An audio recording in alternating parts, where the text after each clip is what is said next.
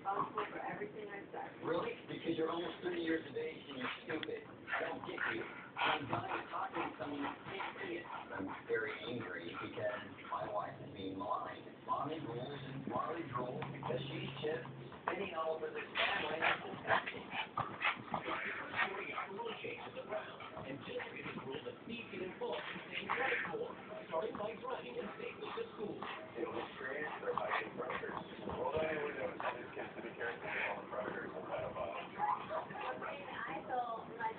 with you being driven today.